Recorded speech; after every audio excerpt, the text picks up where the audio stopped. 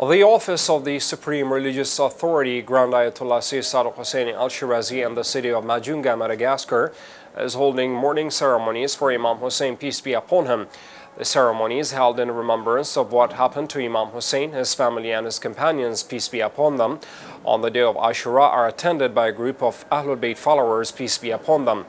Sheikh Muhammad Radhi Wasaram delivered a lecture in the ceremony in which he spoke about the importance and necessity of establishing and reviving the holy rituals of Imam Hussein, peace be upon him, around the world as the blessed banner of the Imam was raised in the city.